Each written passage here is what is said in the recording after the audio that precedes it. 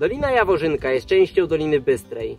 Jej dnem prowadzi żółto znakowany szlak turystyczny na halę gąsienicową, który jest popularny wśród turystów.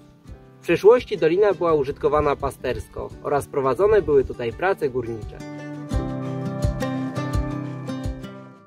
Otoczenie Jaworzynki stanowi grań, która od Boczania poprzez Skupniów Upłas, Wielką i Małą Kopę Królową biegnie ku kopie Magóry. Od południowego zachodu dolinę otaczają jaworzyńskie turnie i jaworzyńskie czoła. Skutkiem intensywnego górnictwa i pasterstwa było całkowite wylesienie doliny i postępująca degradacja gleby.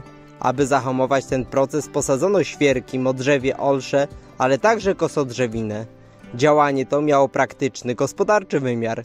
Dziś zaryzykowałbym stwierdzenie, że pozostawienie tego miejsca do naturalnej sukcesji byłoby lepszym rozwiązaniem.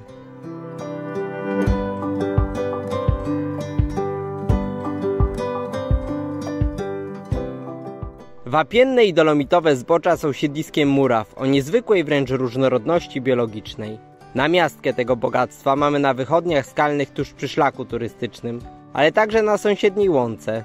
Łąka jest regularnie koszona nie tylko dla zachowania miejsca do życia dla wielu rzadkich gatunków roślin i zwierząt, ale także ze względu na walory krajobrazu.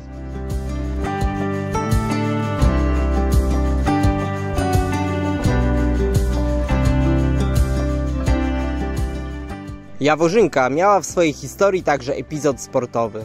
W latach 1921-1930 istniała tutaj po orograficznie lewej stronie skocznia narciarska.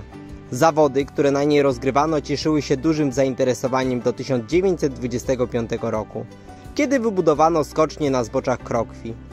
W późniejszym okresie jej znaczenie podupadło, jakkolwiek jeden z najpiękniejszych konkursów rozegrano 7 marca 1926 roku.